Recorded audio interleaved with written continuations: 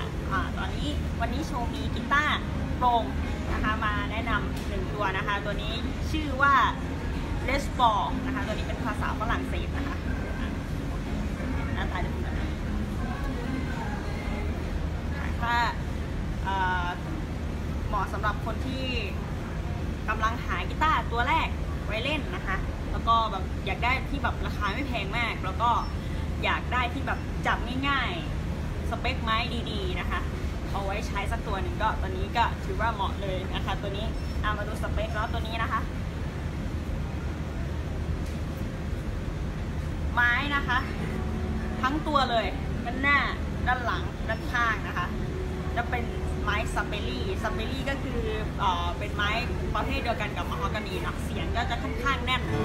ให้แบบเสียงแน่นใสเหมือนกัน ได้แบบเสียงดังกังวานมากเลย แล้วก็คอก็เป็นมะฮอกกานีลูกบิด เป็นลูกบิดหลังกลมนะคะ ซึ่งลูกบิดแบบนี้เนี่ย จะทำให้ไม่พังง่าย แล้วก็สายไม่เพี้ยนเร็วด้วย มีไบรดิ้งการกระแทกให้อันนี้ของสีดำเคลือบ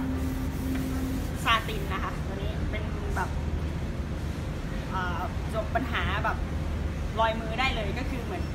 เราเล่นไปแล้วแบบ รักเก็บรักษาง่ายนะคะน้ำหนักเบาด้วย ไซส์มาตรฐานตัวนี้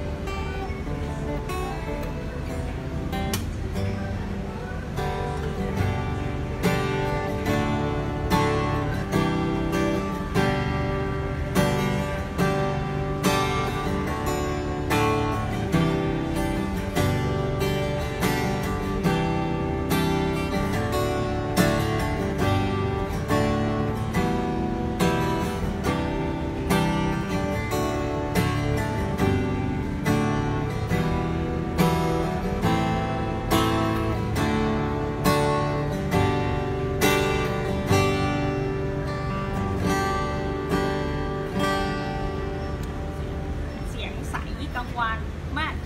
ตัวนี้เนี่ยไม่ต้องไม่ต้องไปทำอะไรมากแล้วเพราะว่าเขาค่อนทำมาค่อนข้างมาตรฐานนะคะทัชชิ่งไม่ต้องปรับอะไรมากเลย ตัวนี้